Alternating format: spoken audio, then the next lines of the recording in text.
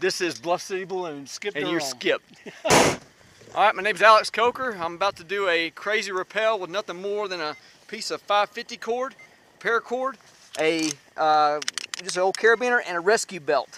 And I've got 50 feet of uh, paracord here in a little bottle here. We're about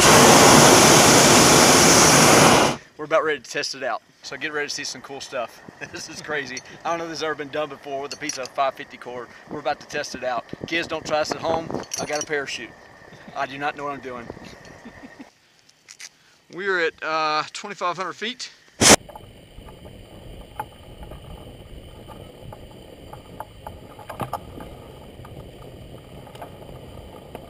You ready?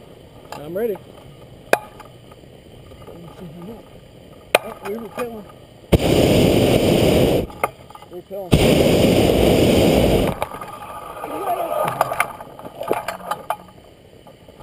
You ready? I'm ready. Hope it doesn't mess anything up.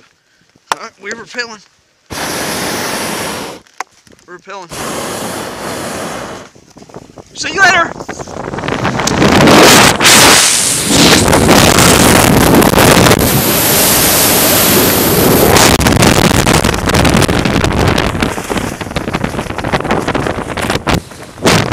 All right. Burn my hands there a little bit. Ow!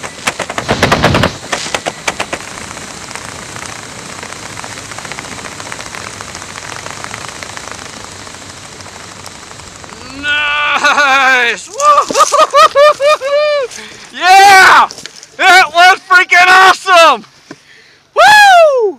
Thanks, Skip! Well, made it back. It was absolutely awesome. 50 cord, piece of paracord.